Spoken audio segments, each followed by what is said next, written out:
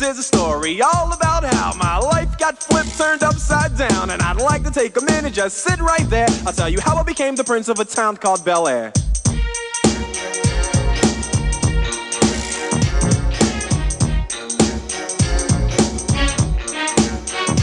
In West Philadelphia, born and raised on the playground is where I spent most of my days.